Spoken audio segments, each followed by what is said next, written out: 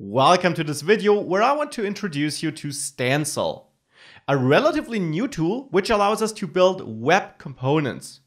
Not sure what web components are? I'll talk about this first in this video. One important note right away, Stencil is not yet another JavaScript framework. It's not an alternative to React or Angular or Vue, at least not in the sense that it's a framework. It simply allows you to build standard compliant web components which run on their own without a framework in the browser. You can actually include these components in any web project, even if you use a framework like Angular there. Let's dive into it and find out what exactly web components are before we dive into the basics of Stencil thereafter. So we need to understand what web components are first. And for that, I'm on MDN, the Mozilla Developer Network, on the web components article. Web components basically is just a term, a set of features you can use, supported by all major browsers in their latest versions, to build your own HTML tags, you could say. This set of features basically are these four features. You can build custom elements with your own HTML templates behind them, a shadow DOM to scope the styling to your elements so that you have CSS styles which are only applied to your elements, and HTML imports so that you can import other dependencies directly in your HTML, so to say. You can dive into that article if you want to learn more about vanilla web components. The reason why Stencil exists is that writing them on their own is possible, but can be cumbersome, can be difficult. Stencil is a compiler, which makes that easier. You might also know Google's Polymer project. It's kind of comparable, Polymer also gives you a nice way of writing these components and then ships some features on top of them basically. Um, Stencil is a compiler which also makes writing them easier and in the end once you build your project all you get are JavaScript files you dump into a project into a HTML file and you can start using your own tags. And these files really contain the logic of your component written for you fulfilling this standard requirement, but for you as a developer, you wrote them in a much more convenient way using Stencil, which then compiled it for you. You can find more about this on the Stencil webpage under What is Stencil. They describe what they do for you. Stencil gives you a syntax which uses TypeScript and is like a mixture of Angular and React from a syntax perspective. We'll have a look at it in a second. Cool thing about web components is, of course, that these JavaScript files, which comprise your own element, are relatively small. You can just dump them into any page and use them, even in other frameworks. And you don't have all the overhead a framework like Angular might have. Now, these are web components, and with them you could, for example, create, like, say, an image carousel, where you have all the logic in the end comprised in one single HTML tag you can use in any project. Now let's have a look at this. On the Stencil page, if you click on getting started, and the page is stenciljs.com, by the way, on getting started, you find the instructions to get started.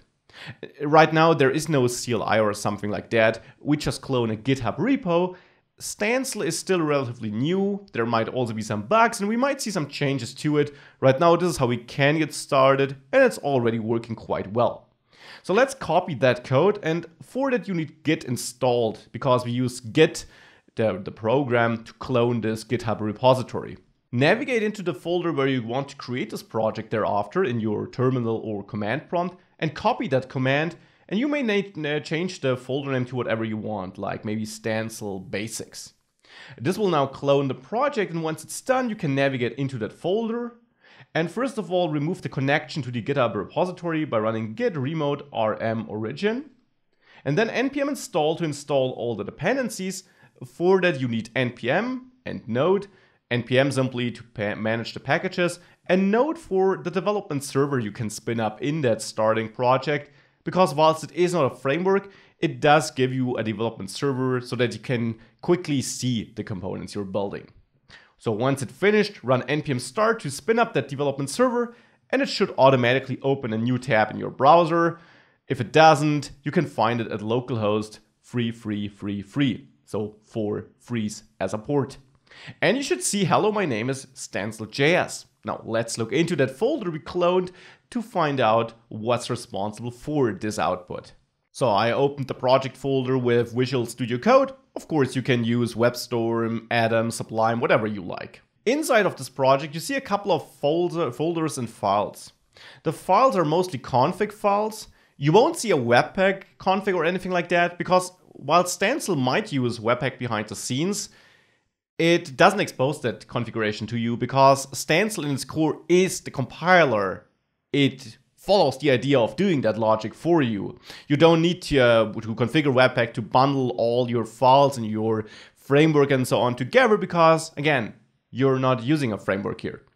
So what we have here is the Stencil config file though, and I'll come back to the idea behind bundles.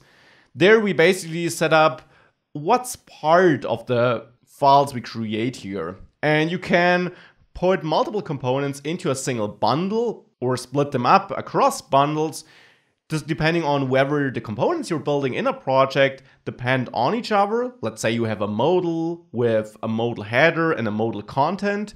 These might belong together, so you want to put them into one file in the end that you output. So you would put them into one bundle here, or you create multiple bundles because you not only have the modal stuff, but you also have, let's say, uh, the image carousel, which is not related at all to the modal. Collections allows you to import pre-built third-party bundles, like here the Stencil router. Whilst Stencil is no JavaScript framework, it does expose a package of router-related components you can simply use in your files to easily add single-page routing to any web application. For now, I'll simply comment this out, but we may use this later. Let's have a look at the source folder next, because that's interesting. In there, we write our own components, as you might guess, in the components folder, and there you find one folder, my name, with two files inside of it. My name tsx. This might look a bit like Angular to you. It uses TypeScript, it uses this add component decorator, but then again, it looks a bit like React because we have the render method where we return some HTML, but that is JSX. So it's JavaScript in the end, just uh, this nice JSX syntax. We also have the SCSS file where we can style our own component. You see we're selecting the selector here and the tag, our custom tag I mean. And that is the idea behind Stencil. Stencil doesn't actually use the shadow DOM. Instead it uses SCSS and directly the tag of your own element to give that element some styling. And in SCSS you can conveniently nest other styles like an anchor tag inside of there. This will basically resolve to the following normal CSS code to make sure that you style all the elements within your custom element and therefore scope your styles without using the shadow DOM. But these two files make up a component and we'll have a closer look at the TypeScript code in a second. We then use our Rust custom component here in the index.html file, but again, in the end, we'll just spit out a couple of JavaScript files you can drop into any package and any project. But here for testing, it gives us this index.html file. And there we see we use it just like a normal HTML tag. We see the import to this app.js file. This is in the end holding our own components, but then we just use it like a normal HTML tag.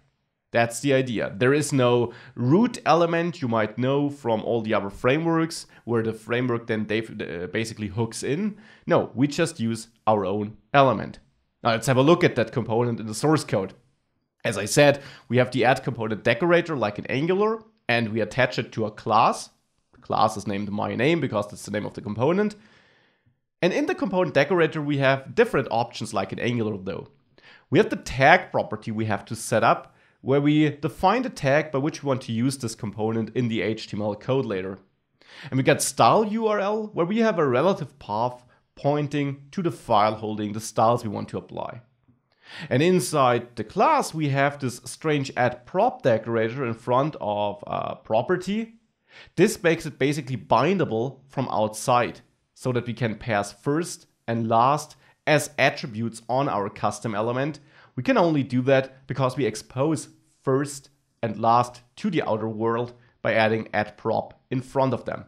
Well, and then we simply render something. That's all nice. Let's build our own component though. Let's get rid of the my name folder and let's add a new folder in components. I'll name it my modal. And in there, I'll add two files, mymodal.tsx and mymodal.scss, of course. Now, mymodal, as the name suggests, should be a custom, simple modal component. Let's start with the TSX code. First of all, I need to import that component selector from at stencil slash core. And that should be from, not form. Then I use it with an at in front of it to make it a decorator. And I pass a JavaScript object to it to configure it. There I can set up the tag and I want to use my modal. Now a requirement is that your tags have a hyphen in there and you should use some unique um, prefix basically to make sure you're not interfering with components you might have in regular HTML or third-party libraries might add. This is why you should try to give them unique tags, just like in Angular, I guess. Now, you can also add style URL, this is optional though, and there I will point to my modal.scss file to make clear where to find the styles to pull in. Then I'll export a class and I'll name this my modal and this is kind of the naming convention. If your component has the tag my dash modal, the class name should be my modal one word but with capital starting characters basically. In there I can now add a render method and I can return my own content like my own h1 tag maybe where I say hello from my modal. Now let's save this file and let's go to the SCSS file and let's use our my modal selector here as a CSS selector. And let's maybe change the font family to Arial, fallback sans serif. Let's maybe also add a border of one pixel solid and like gray look. Maybe also a shadow of one pixel, one pixel, one pixel and a gray look. And a background color of white. Now a modal also should be positioned around the middle of our page. So why don't we give it a rel uh, excuse me, a fixed position so that it's always in the middle, even if we try to scroll. And from the top, let's say it should be 30% away. I'll give it a width of, let's say, 350 pixels. And then from the left, I want to calculate the distance by saying it should be in the middle, so 50%. But of course, that has a, a width this modal.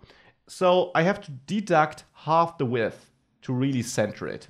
So 175 pixels are deducted. Make sure to add a white space between the minus and the values here. And with that, let's give it a z-index of maybe um, 1000 to make sure it's always on top of all the other elements. And let's now use it. Now for that, I'll go to the index.html file Remove this element and add my modal instead. Don't need to set up any attributes, we can't right now. And in the stencil config, we need to replace this with my modal too to make it aware that this is now what we want to export as part of this project. With all that, let's go back and we see hello from my modal in a box in the middle of the screen, which is already pretty decent. This of course is no real modal. It's always there, it has no backdrop. Now, we could add a backdrop simply as part of the styling of this modal here, but we could also do something else. A backdrop might also be a standalone component because maybe we need a backdrop for different areas in our application. We could have a backdrop if we have a side menu, a side drawer, and we open that side drawer and we want to have a backdrop when it's active. So let's add a second component here. I'll name it my backdrop. And I'll basically copy the logic from before. My backdrop.tsx and my backdrop.scss. Now, I'll copy the code from the tsx file into the new tsx file, change the tag to my backdrop, and of course the import here to my backdrop, and the name of the class to my backdrop. And with that I got my backdrop. Now I'll return null here because I don't need any actual content. On the backdrop itself, on my backdrop, I can now say width 100% and height 100%. I can give it a background color of let's say RGBA 0, 0, 0, dot 6 to have it slightly transparent. The position should be fixed and the z-index should be 100 so lower than for the modal box, of course. And left should be 0 and top should be 0. Let's save all of that and let's go to the stencil config here and let's add it there too.